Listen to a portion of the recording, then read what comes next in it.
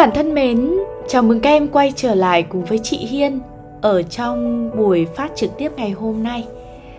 Và nội dung ngày hôm nay chúng mình sẽ cùng với nhau trao đổi. Đó chính là một đề bài như sau. Phân tích đoạn thơ sau. Khi ta lớn lên đất nước đã có rồi. Đất nước có trong những cái ngày xưa ngày xưa mẹ thường hay kể Đất nước bắt đầu với miếng trầu bây giờ bà ăn. Đất nước lớn lên khi dân mình biết trồng tre mà đánh giặc. Tóc mẹ thì bới sau đầu. Cha, thưa cha mẹ thương nhau bằng gừng cay muối mặn. Cái kèo cái cột thành tên. Hạt gạo phải một nắng hai xương. Say, dã, dần, sàng. Đất nước có từ ngày đó. Đây là trích đoạn đất nước trích trong trường ca mặt đường khát vọng của nhà thơ Nguyễn Khoa Điềm và đề bài này có yêu cầu là từ đó nhận xét về tư tưởng đất nước được thể hiện trong đoạn trích. Và các bạn ơi, đây sẽ là đề bài mà ngày hôm nay chúng mình sẽ có một bài văn tham khảo thật hấp dẫn dành cho chúng mình nhé. Các em đã sẵn sàng để lắng nghe bài văn này cùng với chị Hiên chưa? Ở thời điểm hiện tại thì chúng mình đã sắp à, thi học kỳ 1 rồi đúng không nào? Và chị tin chắc chắn một điều rằng là khi mà chúng ta chuẩn bị thi học kỳ 1 thì à, các bạn cũng đang à, cố gắng thu thập nhiều tài liệu nhất có thể à, để có thể chuẩn bị à, đầy đủ tất cả mọi thứ sẵn sàng cho hành trình thi à, hoàn thành bài kiểm tra cuối học kỳ 1 và đối với các bạn học sinh 2K5, các bạn lớp 12 thì có lẽ đây cũng là một trong những cái đề cực kỳ đáng chú ý đúng không ạ? Ngay bây giờ chúng mình sẽ cùng với nhau lắng nghe một bài viết đến từ cuốn sách Săn 8 cộng của học văn chị Hiền nhé. Và đề bài đã có rồi. Bây giờ sẽ là bài tham khảo dành cho các bạn đây. Mời các bạn cùng lắng nghe nhé. Mở bài Ai đó đã từng nói rằng, Nếu mỗi người không thuộc về một đất nước, Một quê hương, Thì sống như con chim không có tổ, Cái cây không có rễ Và ai đó cũng đã từng tự hỏi lòng, Có mối tình nào nặng sâu hơn là mối tình tổ quốc Đi tìm câu trả lời cho câu hỏi ấy Đã có biết bao hồn thơ cất cánh với Nguyễn Đình Thi là hình ảnh của một đất nước đau thương căm hờn quật khởi, vùng lên chiến đấu và chiến thắng huy hoàng. Với Lê Anh Xuân là dáng đứng tổ quốc bay lên bát ngát mùa xuân. Với Xuân Diệu là vẻ đẹp của đất nước, tổ quốc tôi như một mũi một con tàu, mũi tàu rẽ sóng mũi Cà Mau. Đặc biệt, vào năm 1971, từ chiến trường bình trị thiên khói lửa, Nguyễn Khoa Điềm đã góp thêm một tiếng thơ hay về đề tài đất nước qua trích đoạn đất nước trích trong trường ca mặt đường khát vọng.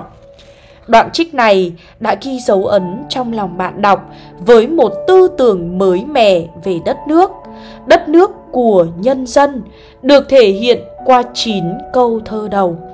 Khi ta lớn lên đất nước đã có rồi, cho đến đất nước có từ ngày đó. Vậy là các bạn ơi, phần mở bài chúng mình có ở đây đó là một cái phần mở bài mà chúng ta sẽ đi từ đề tài. Phải không ạ? Hãy chú ý giúp chị nhé. Đây là phần mở bài mà chúng mình đi từ đề tài. Và đó là đề tài đất nước. Hình ảnh đất nước đã từng nghiêng mình trong những thi phẩm và chúng ta đã lấy uh, những cái hình ảnh đất nước trong từng thi phẩm đó để trở thành cái chất dẫn để dẫn vào cái phần nội dung bài viết ngày hôm nay. Bây giờ chúng mình sẽ cùng đến với phần thân bài nha. Trong phần thân bài thì sẽ có luận điểm khái quát về tác giả tác phẩm này. Sẽ có luận điểm về à, phân tích giá trị nội dung, giá trị nghệ thuật này. À, sẽ có luận điểm về giải quyết yêu cầu nâng cao này và sẽ có luận điểm về khái quát nội dung nghệ thuật này, đặc sắc nội dung nghệ thuật này. Và chúng mình sẽ có phần kết bài nữa. Ồ, Hà Quỳnh em vừa thi đề này xong à? U là trời, bằng một cái lý do nào đó mà chị nói thật là chị rất hay phát trực tiếp đặc biệt là trong những cái đợt mà các bạn kiểm tra khảo sát ấy. Là rất hay có những cái đề mà các bạn ấy toàn bảo là ô chị ơi đây là đề em vừa thi mà các kiểu các kiểu sao em không nhìn thấy sớm hơn? Chúng mình ơi chính vì cái lẽ đó mà chị rất mong rằng là các em sẽ có thể lắng nghe nhiều hơn những cái phần audio mà chị chia sẻ về các bài văn tham khảo để chúng mình có thêm chất liệu, chúng mình có thêm ý tưởng để chúng mình có thể viết được những bài văn hay hơn và đạt số điểm tốt hơn các em nhé. Ok không nào? Được không ạ? À? Thế thì bây giờ chúng mình sẽ cùng quay trở lại với bài văn này nha Nếu như bạn nào muốn tham khảo cuốn tài liệu này, Thì các em có thể nhắn tin cho admin fanpage học văn chị Hiên Đây là một cái bài viết mà chị lấy ra trong cuốn xăm 8 cộng hoặc nếu không, thì các bạn cũng có thể chủ động tham khảo cuốn tuyển tập 50 bài văn mẫu trọng tâm nhé Em chuẩn bị thi nên phải vào nghe chị để đặt 9 cộng à Nhất trí, quyết tâm nhá À hôm trước em cũng đọc được bài này trên page hay lắm ạ à. Ôi, cảm ơn em rất nhiều. Nhưng mà vào phòng thi em nhớ in lời chị luôn. Trời ơi, Hà Quỳnh ơi, đáng yêu quá. Em có biết rằng là khi mà đọc được những cái phần bình luận này, Nó thực sự trở thành một cái động lực rất lớn lao cho chị không? Đương nhiên chị cũng giống như các bạn, Cũng sẽ có những cái thời điểm mà chị cảm thấy mệt mỏi. Cũng có những cái thời điểm mà chị cảm thấy rằng là mình đã làm việc rất chăm chỉ. Những ngày qua Thế nhưng mà có thể là cái kết quả lại chưa được như mình mong muốn Thế nhưng chỉ cần đọc được một cái bình luận của các bạn động viên chị thôi, Thì tự nhiên chị có một cái cảm giác rằng là Chị lại nhớ tới những cái lời thơ của tác giả Trần Việt Anh đã từng viết ấy Không biết các bạn có biết cái lời thơ đó không? Đừng để lạc lõng giữa mênh mông, em biết không? Tất cả những con đường em chọn, Đường đi nào rồi cũng tới rạng đông hay là cái lời thơ của tác giả Nguyễn Thiên Ngân. Một trái tim yếu đuối, một tấc lòng âm u Vẫn đi về ánh sáng bên kia sau sương mù. Thế nên là chị rất cảm ơn Hà Quỳnh vì những lời động viên của em. Và cảm ơn em vì đã tiếp thêm cho chị động lực Để chị biết đường rằng Mặc dù con đường chia sẻ với các bạn kiến thức sẽ còn nhiều khó khăn ở phía trước Nhưng chỉ cần có niềm tin thôi Thì nhất định là chị sẽ làm được và chỉ cần các bạn có niềm tin thôi, Nhất định các bạn cũng sẽ làm được Được không ạ? À?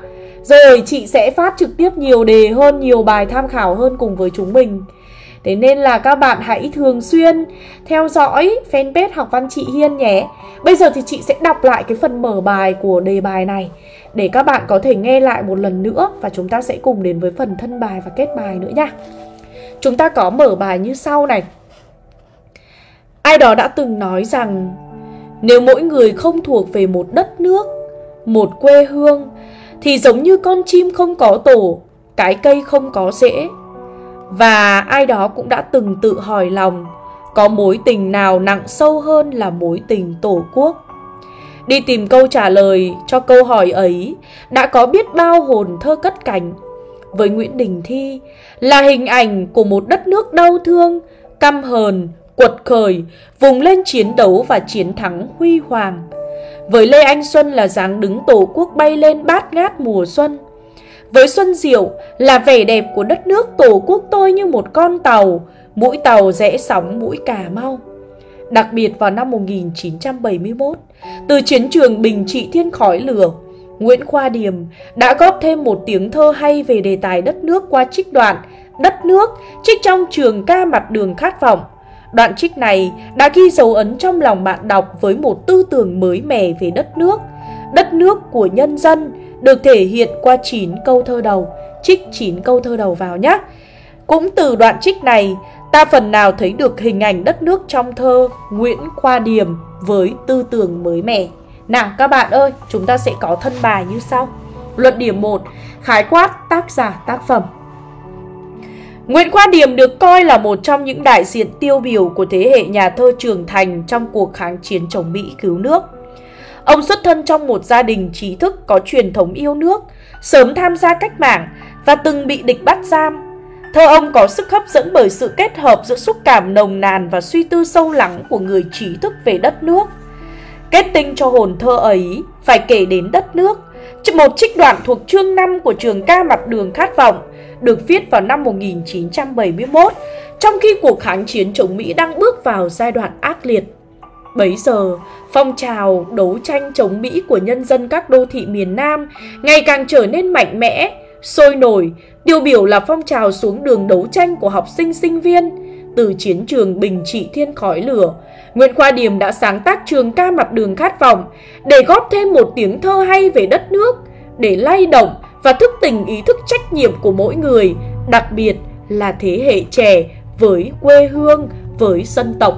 Trích đoạn nằm ở chương 5 của trích đoạn nằm ở phần đầu chương 5 trường ca mặt đường khát vọng đã giúp cho bạn đọc lý giải về cội nguồn của đất nước theo góc nhìn của Nguyễn Khoa điệp đó, các bạn ơi, hãy nhớ nha, nếu như đề bài cho một trích đoạn thì đừng quên nêu ra vị trí của đoạn trích các em nhé. Bây giờ chúng mình sẽ cùng tiếp tục luận điểm số 2, phân tích như sau. Nguyễn Khoa Điềm đã mở đầu trích đoạn thơ của mình bằng lời hồi đáp cho câu hỏi Đất nước có từ bao giờ? Khi ta lớn lên, đất nước đã có rồi.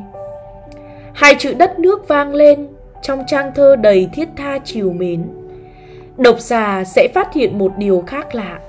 Đó là xuyên suốt trong cả đoạn thơ này, từ đất nước đều được viết hoa, mặc dù đây là danh từ chung. Chia sẻ về lý do tại sao lại có cách trình bày như vậy. Nguyễn Khoa Điềm lý giải với bạn đọc. Với ông, đất nước không đơn thuần là vùng đất vô tri, đất nước là nhân vật, là sinh thể có tâm hồn, và với cách viết này cũng đồng thời bày tỏ sự trân trọng của tác giả, những tình cảm thành kính thiêng liêng dành cho đất nước. Điệp từ đất nước vang vọng suốt cả trường ca như một khúc nhạc thiết tha gợi cảm xúc, đưa ta về một miền không gian nối dài từ quá khứ hiện tại đến tương lai.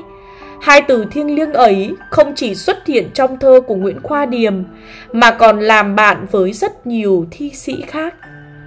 Việt Nam đất nước ta ơi, mênh mông biển lúa đâu trời đẹp hơn, cánh cò bay là dập dờn, mây mờ che đỉnh trường sơn sớm chiều. Hay đất nước tôi thon thả giọt đàn bầu nghe dịu nỗi đau của mẹ, ba lần tiện con đi, hai lần khóc thầm lặng lẽ. Các anh không về, mình mẹ lặng im. Và đất nước cứ như thế đã trở thành một danh từ thiêng liêng trong trái tim của bất cứ ai. Chỉ cần trái tim còn đập trong lồng ngực nhỏ. Ý thơ của Nguyễn Khoa Điềm bàn về vấn đề chính luận thời sự, nhưng lại sử dụng đại hồ sự nhưng lại sử dụng đại từ xưng hô ta để thể hiện tâm tình trò chuyện thân mật giữa người con trai với người con gái, giữa anh và em về đất nước. Người con trai ở đây, như đang muốn cắt nghĩa lý giải về cội nguồn, về sự lớn lên của đất nước cho người con gái anh yêu. Tuy nhiên, nếu mở rộng ý thơ, ta ở đây cũng có thể chính là tất cả mọi người, là một cách nói bao hàm đại diện cho dân tộc Việt Nam. Cách xưng hô khiến vấn đề trừu tượng lớn lao như đất nước, nay lại trở nên gần gũi rõ ràng cụ thể. Điều này thể hiện rất rõ phong cách thơ trữ tình chính luận của tác giả.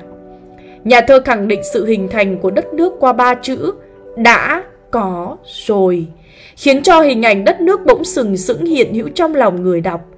Theo cách lý giải của Nguyễn Khoa Điềm thì đất nước là một giá trị lâu bền, vĩnh hằng. Đất nước được tạo dựng và bồi đắp qua nhiều thế hệ, được truyền từ đời này sang đời khác. Cho nên, khi ta lớn lên, đất nước đã có rồi. Lời khẳng định này thể hiện sự tự hào mãnh liệt, về sự trường tồn của đất nước qua mấy ngàn năm lịch sử. Đất nước cũng như trời và đất. Khi ta sinh ra, đất và trời cũng như vậy. Ta không biết đất nước được hình thành từ bao giờ, chỉ thấy đất nước đã hiện diện xung quanh ta với những gì thân thương nhất. Những câu thơ tiếp theo của tác giả triển khai và làm sáng rõ vấn đề được nêu ra ở câu thơ đầu. Đất nước đã có từ rất lâu đời. Ngược về quá khứ xa xôi. Tuổi thơ của mỗi người lớn lên trong những lời du Những câu chuyện của bà, của mẹ. Đất nước có trong những cái ngày xưa ngày xưa Mẹ thường hay kể. Tác giả đã mượn chất liệu dân gian để diễn tả về sự ra đời của đất nước. Bốn chữ ngày xưa ngày xưa đưa chúng ta về một miền thăm thẳm xa xôi, nơi đó có hình ảnh của cô, có hình ảnh của cô Tấm Dịu Hiền, của Thạch Xanh Lương Thiện. Bà Tiên, ông Bụt với những phép màu diệu kỳ giúp đỡ cho những người ở hiền gặp nạn. Là người Việt, ai mà không biết tới những câu chuyện gắn liền với tuổi thơ êm đềm đó và đất nước trong những điều xa xưa ấy. Tức là đất nước đã xuất hiện trước khi những câu chuyện này có mặt trong kho tàng dân gian đầy màu sắc. Những câu chuyện cổ trong đời sống tinh thần phong phú của nhân dân ta, ta lại thấy hình hài đất nước trong đó là đất nước của một nền văn học dân gian đặc sắc với những câu chuyện cổ tích, truyền thuyết, chính là những lời du quen thuộc thủa nào, là nguồn sữa ngọt lành nuôi dưỡng tâm hồn ta hướng về những điều tốt đẹp. Nhà thơ Lâm Thị Mỹ Giả đã từng rất xúc động khi viết về ý nghĩa của kho tàng truyện cổ. Tôi yêu truyện cổ nước tôi, vừa nhân hậu lại tuyệt vời sâu xa, thương người rồi mới thương ta, yêu nhau dù mấy cách xa cũng tìm. Ở hiền thì lại gặp hiền, người ngay thì được Phật tiên độ trì, mang theo chuyện cổ tôi đi, nghe trong cuộc sống thì thầm tiếng xưa, vàng cơn nắng trắng cơn mưa, con sông chảy có rặng dừa nghiêng soi. Không chỉ có trong cái ngày sửa ngày xưa, Nguyễn Khoa Điểm còn xác định buổi ban đầu ấy qua một nét sống giản dị, đã trở thành phong tục tập quán tốt đẹp của nhân dân ta, đó là tục ăn trầu. Đất nước bắt đầu với miếng trầu bây giờ bà ăn. Hình ảnh đất nước lớn lao kỳ vĩ, đối lập với hình ảnh miếng trầu bé nhỏ. Hình thức câu thơ có vẻ phi lý, nhưng lại cực kỳ hợp lý, xuất phát từ một chân lý. Những điều lớn lao đều được bắt đầu từ những điều nhỏ bé. Câu thơ gợi nhắc về câu chuyện cổ tích sự tích trầu cao, được xem là câu chuyện xưa nhất trong những câu chuyện cổ. Tục ăn trầu của người Việt chính từ câu chuyện này. Điều ấy cho thấy miếng trầu nhỏ bé kia được nhắc nhớ tới trong đó là chứa đựng 4.000 năm lịch sử, 4.000 năm phong tục truyền thống hiếu khách miếng trầu là đầu câu chuyện. Trải qua thời gian đằng đẵng, miếng trầu hình, miếng trầu trở thành hình ảnh thiêng liêng của đời sống tinh thần người Việt. Miếng trầu giao duyên, miếng trầu cưới hỏi và từ đó hình ảnh này đã trở nên quen thuộc trong thơ ca. Những cô hàng xén răng đen, cười như mùa thu, tỏa nắng. Bên cạnh những phong tục tập quán tốt đẹp trở thành khởi nguyên cho đất nước, Nguyễn Qua Điềm còn nhấn mạnh vào quá trình lớn lên của đất nước song hành cùng truyền thống đánh giặc giữ nước suốt 4.000 năm lịch sử của dân tộc ta. Đất nước lớn lên khi dân mình biết trồng tre mà đánh giặc. Hai chữ lớn lên để thể hiện cho sự trưởng thành của đất nước. Câu thơ gợi nhắc bạn đọc tới hai hình ảnh, cây tre và truyền thuyết thánh dòng. Bao đời nay, tre không còn là hình ảnh xa lạ với đời sống của người dân Việt Nam – nó đã đi vào trong những tác phẩm thơ ca nhạc họa với những đặc điểm tượng trưng cho phẩm cách của người Việt Nam như Tre xanh xanh từ bao giờ, chuyện ngày xưa đã có bờ tre xanh, thân gầy guộc lá mong manh, mà sao nên lũy, nên thành tre ơi, ở đâu tre cũng xanh tươi, cho dù đất sỏi, đất vôi bạc màu. Người Việt Nam cũng giống như những cây tre, thẳng tắp mạnh mẽ và kiên cường, Cây tre ấy cũng gắn liền với hình ảnh thánh sóng, cậu bé vụt lớn trở thành tráng sĩ, nhổ tre bên đường diệt giặc ân khỏi bờ cõi Việt. Ta như thủa xưa thần phù đồng, vụt lớn lên đánh đuổi giặc ân. Cũng từ đó, thánh gióng trở thành biểu tượng khỏe khoắn của tuổi trẻ Việt Nam kiên cường bất khuất. Truyền thống vẻ vang ấy đã đi theo suốt chặng đường lịch sử dân tộc trong thời kỳ kháng chiến chống Mỹ, đã có biết bao nhiêu người con gái con trai sẵn sàng lên đường ra mặt trận. Họ ra đi, mang trong mình lời thề quyết tử cho Tổ quốc quyết sinh. Những năm tháng ấy và cả những năm tháng sau này, truyền thống yêu nước vẫn luôn là cội nguồn, là dòng huyết chảy trong lịch sử hào hùng của dân tộc ta. Cùng với đó, đất nước đã có từ rất lâu đời, gắn liền với những thuần phong mỹ tục tốt đẹp, Nhà thơ đã đề cập đến tục bới tóc của người phụ nữ Việt Nam qua câu thơ Tóc mẹ thì bới sau đầu. Do công việc trồng lúa nước phải lội xuống ruộng nên người phụ nữ phải bới tóc cho gọn gàng. Lâu dần, điều đó đã trở thành nét đẹp mang đậm tính truyền thống của người phụ nữ Việt Nam. Tóc cuộn búi cao sau gáy, tạo cho người phụ nữ một vẻ đẹp nữ tính thuần hậu rất riêng. Nét đẹp ấy khiến chúng ta nhắc nhớ tới câu ca sao Tóc ngang lưng chừng vừa em bởi Để chi dài cho rối lòng anh Không chỉ thế Nguyễn Khoa Điềm còn cảm nhận về đất nước thông qua lối sống Tình cảm gắn bó giữa người với người Quan hệ đối xử giữa vợ và chồng Tình yêu trung thủy của vợ chồng Cha mẹ thương nhau bằng gừng cay muối mặn. Trong kho tàng ca dao tục ngữ đã có câu Tay bưng đĩa muối chén gừng Gừng cay muối mặn xin đừng quên nhau. Muối và gừng vốn là những gia vị quen thuộc trong bữa ăn của người Việt Nam. Nguyễn Khoa Điềm đã mượn câu ca dao, mượn vị mặn của muối, vị cay nồng của gừng để nói về tình yêu dài lâu, nồng thắm, tình cảm thủy chung, sự gắn bó keo sơn giữa vợ và chồng để làm nên một gia đình chan chứa hạnh phúc yêu thương. Đó cũng là một truyền thống rất quý báu của nhân dân ta. Không chỉ vậy, đất nước đã có từ rất lâu trong tiến trình phát triển cuộc sống đời thường. Cội nguồn của đất nước cũng được tác giả cảm nhận từ cách đặt tên giản dị, cái kèo, cái cột thành tên. Ngôn ngữ Việt Nam có từ lâu đời, bắt nguồn từ việc đặt tên cho những vật dụng quen thuộc trong đời sống sinh hoạt hàng ngày. Lấy tên của chính những vật dụng ấy để gọi tên cho con cái. Bởi xa xưa, người Việt đã quan niệm đặt tên cho con càng xấu thì càng dễ nuôi. Hơn thế là cảm nhận của Nguyễn Khoa Điềm về truyền thống của người Việt Nam cần cù chịu khó gắn bó với nền văn minh lúa nước để đất nước được như ngày hôm nay không thể không kể đến công sức lao động của thế hệ ông cha hay nói cách khác là quá trình dựng nước. Nhà thơ chọn ra một nghề đặc trưng nhất của ngành nông nghiệp, nghề trồng lúa nước.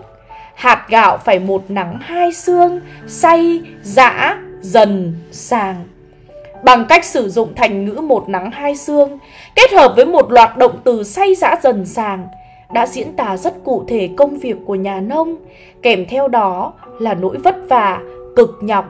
Lời thơ của Nguyễn Khoa Điềm như phảng phất lời ca dao, cũng là lời khuyên răn.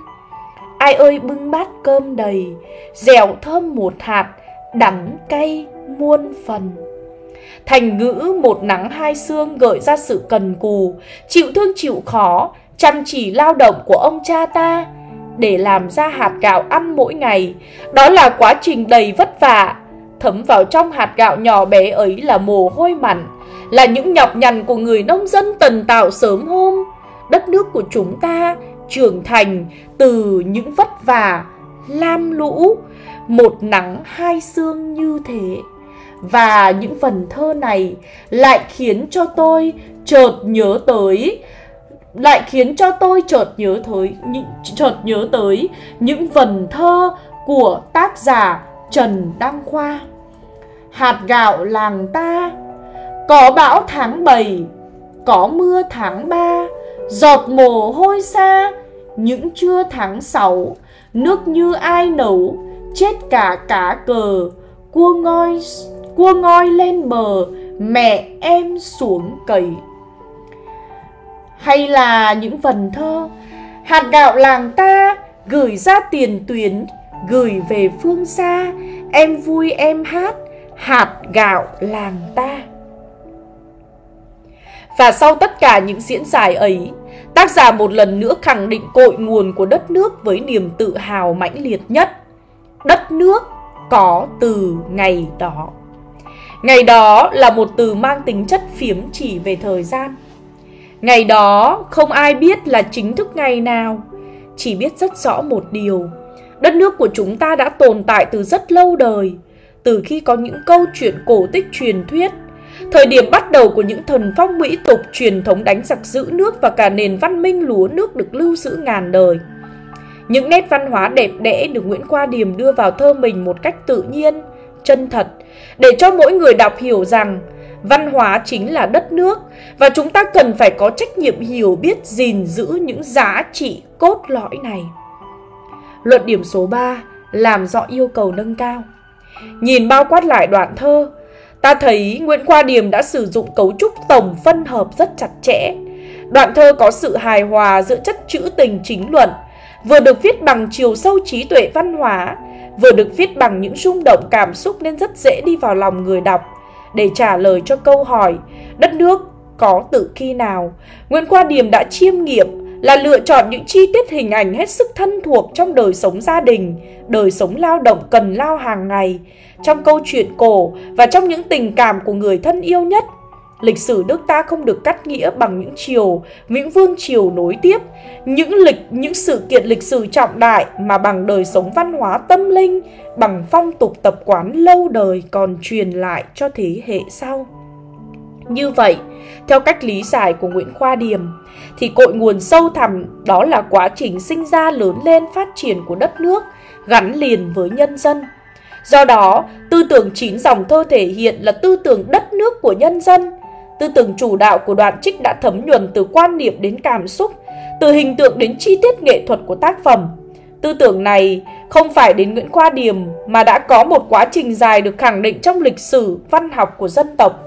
Lật dở từng trang lịch sử văn học dân tộc, có thể thấy tư tưởng đất nước, nhân dân đã có nhiều biến chuyển trong mỗi thời kỳ. Trong thời kỳ trung đại, đất nước gắn liền với với quân vương, Nam quốc Sơn Hà, Nam đế cư.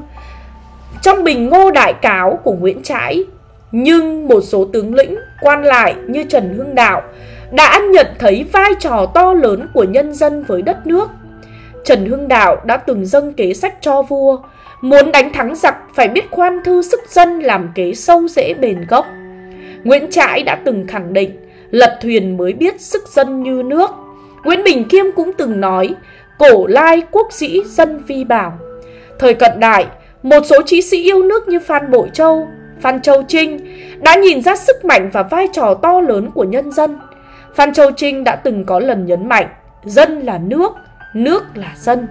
Đến thời đại của Hồ Chí Minh, Bác cũng luôn nhắc nhở, đảng ta phải biết lấy dân làm gốc. Có thể thấy dù ở thời đại nào, các nhà tư tưởng lớn vẫn nhìn thấy vai trò và sức mạnh của đất của nhân dân đối với đất nước. Nhân dân gánh trên mình đất nước đi suốt cuộc trường trinh, cũng như những cuộc khai khẩn đất đai miền rộng bờ cõi. Điều này, các nhà thơ, nhà văn hiện đại cũng đã có ý thức một cách rõ rệt và sâu sắc. Tuy nhiên, để tư tưởng đất nước của nhân dân trở thành cảm hứng chủ đạo, xuyên thấm mọi, xuyên thấm mọi biểu hiện tinh tế nhất của hình tượng đất nước lại được cảm nhận một cách toàn diện sâu sắc trên nhiều bình diện thì đóng góp đặc sắc của Nguyễn Khoa Điềm thực sự là một viên ngọc sáng. Thành công khi thể hiện tư tưởng đất nước của nhân dân của Nguyễn Khoa Điềm là lựa chọn cho mình những chất liệu văn hóa rất phù hợp, đó là chất liệu văn hóa dân gian. Vẫn biết rằng đây là chất liệu đây là chất liệu thuộc hình thức nghệ thuật của một bài thơ, mà nghệ thuật thì chỉ làm nên câu thơ, còn trái tim chính còn trái tim là nghệ sĩ. Tuy nhiên, việc thể hiện tiếng nói trái tim là rất quan trọng. Văn hóa dân gian trong tác phẩm nói chung và trong đoạn trích nói riêng là những câu tục ngữ, thành ngữ, ca dao, những làn điệu dân ca, những câu hò sông nước, hình ảnh của những câu chuyện cổ tích, những phong tục tập quán mà Nguyễn Khoa Điềm đã chiêm nghiệm và chọn lọc dựa trên vốn hiểu biết am tường và sâu rộng. Chín dòng thơ không những thuyết phục bởi tư tưởng chính luận mà còn đi vào lòng người với vẻ đẹp độc đáo. Cấu trúc đất nước đã có, đất nước bắt đầu, đất nước lớn lên, được Đất nước đất nước lớn lên, đất nước có từ, cho phép người đọc hình dung ra cả một quá trình sinh ra lớn lên trưởng thành của đất nước trong thời gian trường kỳ. Kết hợp với đó là điệp từ có, đã nối kết những hình ảnh tưởng chẳng có liên quan gì với nhau, trở thành một khối không thể tách rời, khẳng định sự hiện hữu vừa có tính truyền thống vừa đầy ân tình sâu nặng của đất nước như một nét riêng không thể hòa lẫn.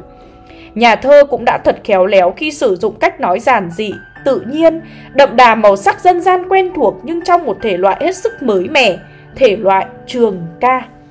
Chín câu thơ đầu trong trích đoạn đất nước, trích trong trường ca mặt đường khát vọng là sự khẳng định về một tư tưởng mới mẻ, đất nước, nhân dân, là một sự lý giải hoàn hảo cho những thắc mắc của độc giả về câu hỏi đất nước có từ bao giờ. Một cách cắt nghĩa giải thích đầy mới mẻ, chẳng phải nơi chúng ta đang sống mọi thứ quanh mình đều là những gì thuộc về đất nước hay sao? Và những câu hỏi thắc mắc về quê hương, đất nước mình vẫn còn là những điều sẽ còn được nhắc hoài, nhắc mãi để bạn đọc không ngừng tìm kiếm những điều mới lạ ấy, sự thú vị ấy trong thơ văn. Quê hương là gì hờ mẹ mà cô giáo dạy phải yêu, quê hương là gì hờ mẹ, ai đi xa cũng nhớ nhiều. Các bạn ơi, thì đây là một cái bài viết tham khảo dành cho chúng mình với một cái đề bài mà chị đang để ở đây. Đó là một cái đề bài phân tích 9 câu thơ đầu trong trích đoạn đất nước trích trong trường ca mặt đường khát vọng của nhà thơ Nguyễn Khoa Điểm. Chị hy vọng rằng là các em đã có thêm một bài văn tham khảo để chúng mình có thêm những chất liệu và phục vụ cho bài viết tiếp theo của các em nhé. Đây là một bài viết được trích từ cuốn Săn 8 cộng của học văn chị Hiên. Nếu các bạn muốn tìm hiểu về tài liệu này cũng như tìm hiểu về các khóa học của chị Hiên dành cho các bạn lớp 8, lớp 9, lớp 10, lớp 11 và lớp 12 ở thời điểm hiện tại thì đừng quên nhắn tin ngay cho admin fanpage học văn chị Hiên nhé. Còn bây giờ thì xin chào và hẹn gặp lại các bạn. Cảm ơn các bạn vì đã lắng nghe chị trong phần phát trực tiếp ngày hôm nay nha. Chúc các bạn sẽ có một giấc ngủ thật ngon nhé.